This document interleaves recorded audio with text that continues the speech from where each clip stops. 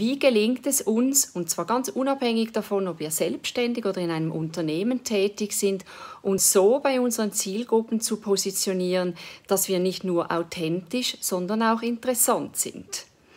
Wie gelingt uns das ganz ohne übertriebene Selbstdarstellung?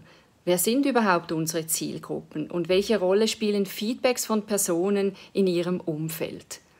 Am Ende muss ein Bild von uns selbst entstehen, mit dem wir gut leben können und mit dem wir andere Menschen für unsere Sache begeistern können. Das und mehr in meinem Referat. Ich freue mich auf Sie.